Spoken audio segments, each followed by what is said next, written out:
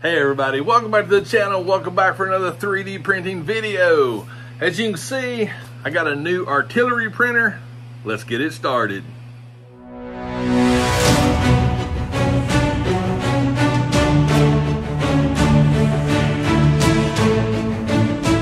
Alright, so first things first, I want to say a big shout out to the folks over at Artillery. Uh, I am so grateful that they like what I do with my channel and they sent me a uh, Artillery Sidewinder 2 printer. Uh, this printer is for a specific thing. Um, what I'm going to do with this printer is I'm going to get it all set up and everything and then I'm actually going to print uh, a full-size helmet on it. I'm going to document that process. We'll come back. We'll look at the final product. It's going to be over uh, a period of time. So uh, as far as this video goes, it'll be just like that. But in reality, it'll be a few days. But um, I really like the artillery printer. It's, it's a wonderful printer. I have printed a bunch of stuff on the one that I uh, already have, and I'm really excited to get another one just for this process. You've seen me unbox them, you've seen me put them together. We're still going to do an unboxing on this one. I'm to get the parts out. We're to put a little bit of it together, and uh, we'll go from there. And then I'm to find it a home, and we'll get the file up and going, and I will show video clips throughout the process and the stages. And then once that's done, we'll uh, we'll see what it looks like. We'll see how it fits, and uh, I'll show you what you can do with one of these printers. So for now, I'm gonna get it off the uh, table here. I'm gonna get it unboxed, get the pieces out, check all that out, make sure it's good to go, and uh, yeah, I'll be right back. All right, so got it out of the box, and basically, in a nutshell, you have like five components. You have the gantry, you have the base, power cord, spool holder, and this awesome tool bag that comes with the uh, artillery printers. And you got your, for the spools, USB cable, wrench, got some extra rollers, the uh, USB drive. Yeah, it's a little extra ribbon cable right there really, really cool. The uh, certificate of confirmation right there. You got your manual, which again, this is a very, very easy printer to uh, install and get set up. Basically just a few uh, screw connections and again, I've already done an unboxing and an assembly video and I'll put that in the links here so you can actually see that. Uh, but basically, in a nutshell, you put the gantry on, screws, plug a few connections up, power it up, level it, and you're good to go. So, what we'll do is, I will do a little bit of a time lapse here, getting everything uh, put together. Uh, again, like I said, I've got a more extensive video on the actual assembly and everything, but for this particular part of the process, we'll just do a time lapse because in all honesty, what I want to do with this video is showing it in action. Uh, so that's that's what this is going to be about. And again, it's going to be several clips through the process. So we'll uh, we'll see how that turns out. But anyway, let's uh, let's do a time lapse.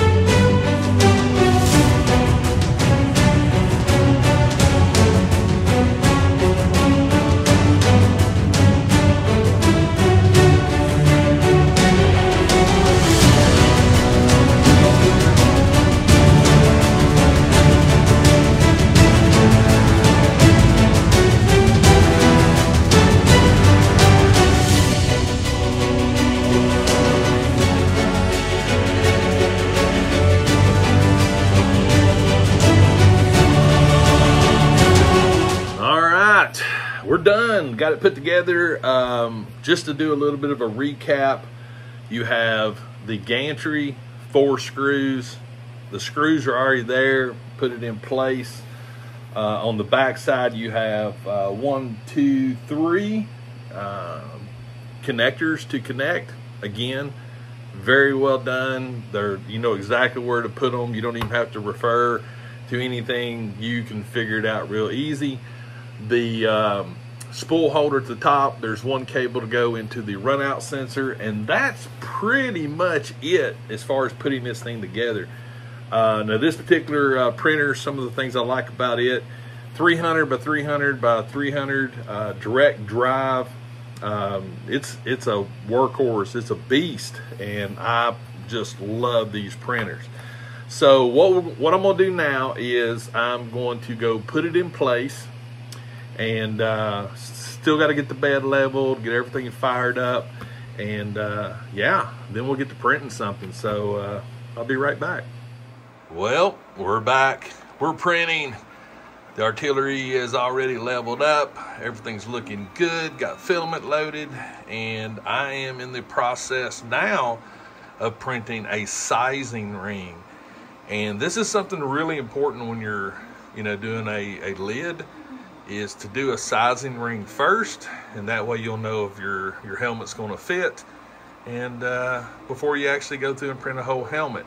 So we're going to kind of let this print and then once it's done, I'll come back, show you what that looks like, and then uh, I'll explain more about the helmet I'm uh, working on. All right, so the first piece is finished printed on the Artillery 3D printer. And uh, just to sort of let you know, so the lid that I'm actually printing is the Imperial Commando Trooper helmet. Um, and this is the sizing ring. Uh, so I, I, got the files. I'm a Patreon on uh, Galactic Armory.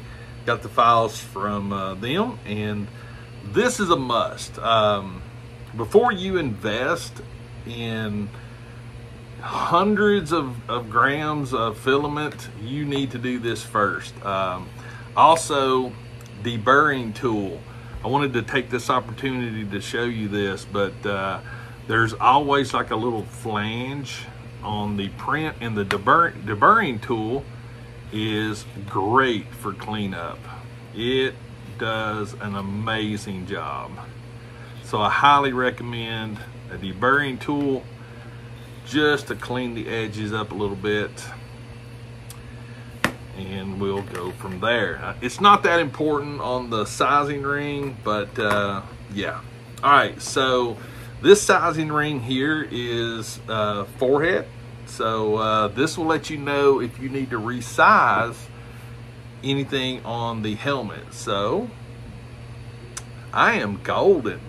I am golden on this. I mean, it's a little, a little big, but I like them a little big. So when I add padding, so I'm good to go. So I'm gonna go ahead and uh, you know, start printing the uh, the helmet. Now, I also wanted to make a point that I can print the entire helmet on the Artillery Sidewinder X2, no problem, none whatsoever. I am not going to print it that way. I'm actually going to print it in sections. And the reason for that is not because the printer can't handle it, it's because it'll save filament and that's the name of the game. You know, you don't want to waste uh, your filament. So I just find that it would be uh, better to do it that way, which is, is cool because you'll see three different variants when it comes to uh, the printing process. Uh, the first piece I'm going to print will be the, the front piece, uh, then the back piece, and then the dome. And uh, finally, we'll put it all together. So, yeah, let's get started printing. All right, I want to give a little bit of an update. The front piece to the uh, Imperial Commando helmet is printing out great on the artillery sidewinder. Detail and everything's looking great. So, uh, yeah.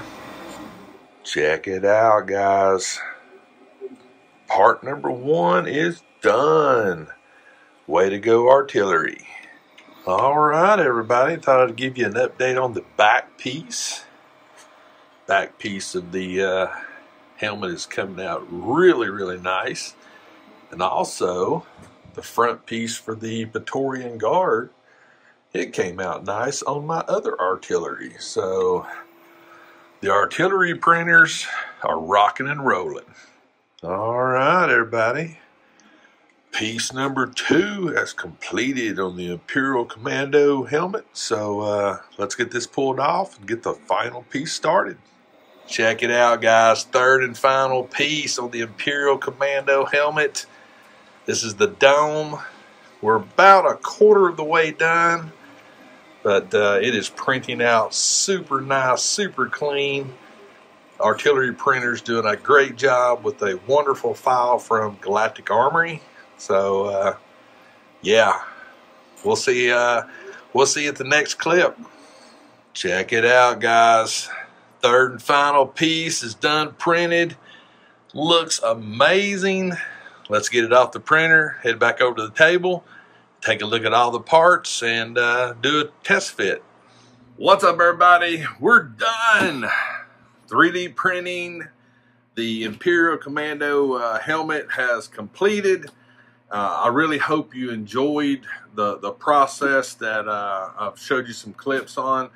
Uh, this is an amazing file from uh, Galactic Armory and super stoked for this. So we're going to put everything together. There's a couple other pieces that I printed off that weren't uh, PLA, but uh, I wanted to show those as well. But we'll start it out. So this file is three pieces uh, for the main helmet, and then there's some other pieces that go right here. But take a closer look.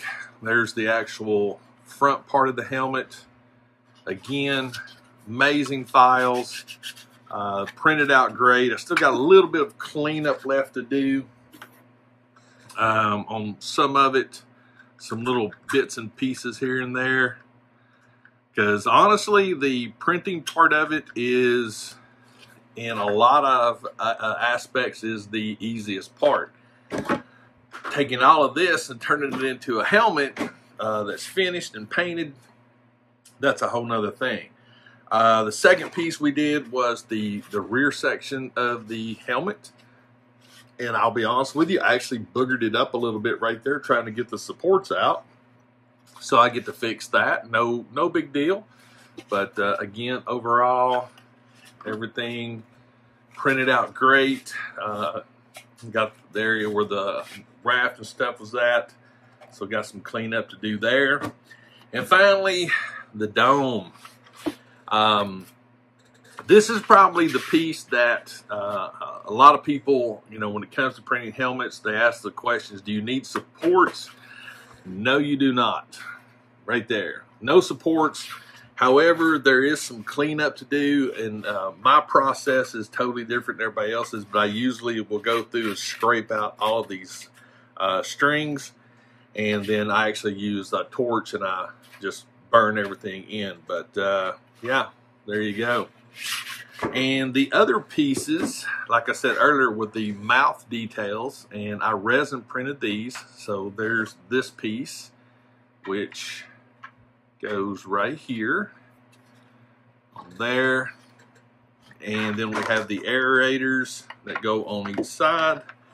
I probably need to sand these down some to get them to actually um, to fit.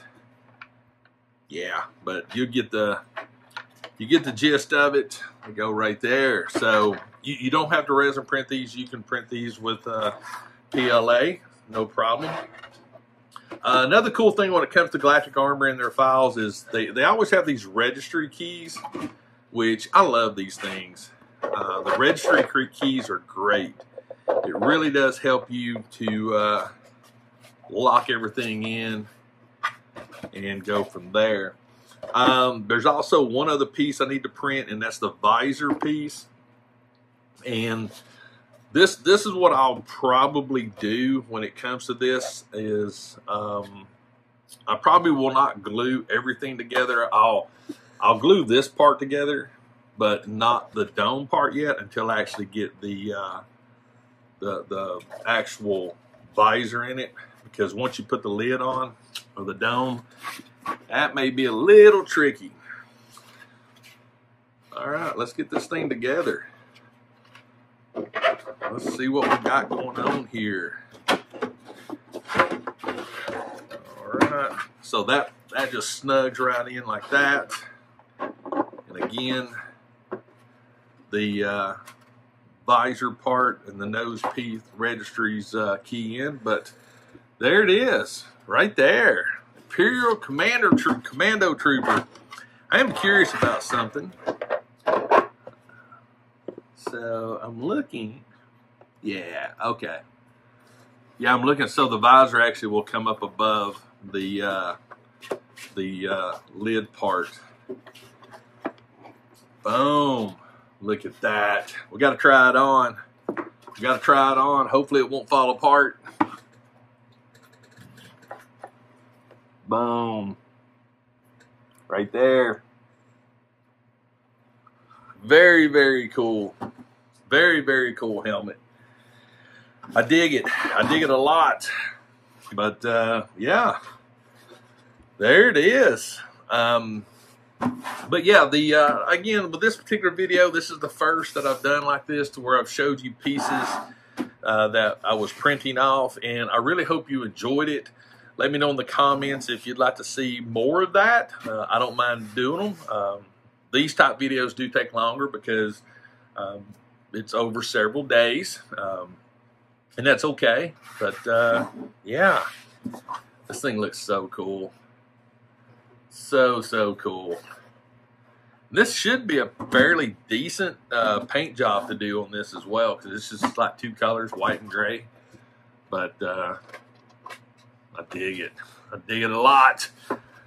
But uh, yeah, so uh, that's it, guys. Again, I hope you enjoyed it. Let me know in the comments. If this is your first time to my channel, hey, if you enjoy this type of content, do me a favor. Consider hitting that subscribe button. If you like the video, give me a like on that. I'll leave links to Galactic Armory so you can uh, see where these files are at and uh, pick them up for yourself. But uh, we're done. So I'm, now, now, now the now the actual work begins. And uh, if you haven't followed me on social media, all the links is that in the description. So that's where I will post photos of this finished helmet. So um, Insta Instagram, TikTok, Facebook, anything that's on the interwebs, I'm out there. So uh, hit me up, send me a message, and uh, see what this thing looks like when I get done with it. And finally, please always remember making your own helmets refreshes your soul, and I'll see you next time.